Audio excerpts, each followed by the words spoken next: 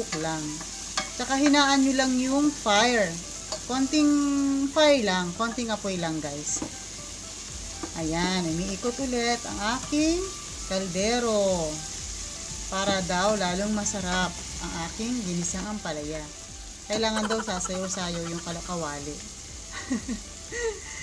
so, ayan, so, ayan guys, ngayon ay ilalagyan na natin ang dalawang itlog. Okay guys? Two eggs.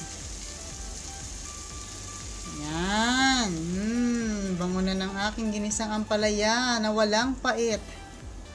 Ayan. So, ngayon ay tatakpan muna natin siya guys. Okay? Ah, hintay tayo ng mga 3 to 5 minutes lang. 3 to 5 minutes. A few moments later. Ayan na guys. Ah, luto na ang aking ginisang ampalaya with egg na walang pait. Okay guys? Ah, bitter melon without bitterness. Ayan guys. Luto ng aking ginisang ampalaya. Ay, umiikot na naman siya guys. Kaya yung mga bitter dyan, magpalamas na kayo ng asin. Okay guys? Para hindi mapait.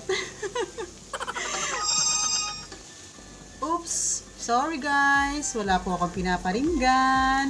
Ang ibig ko pong sabihin ay lagyan ng asin ang ampalaya para hindi mapait. Guys, luto ng ating ginisang ampalaya. Kain na tayo guys. Once again, thank you very much to all my subscribers.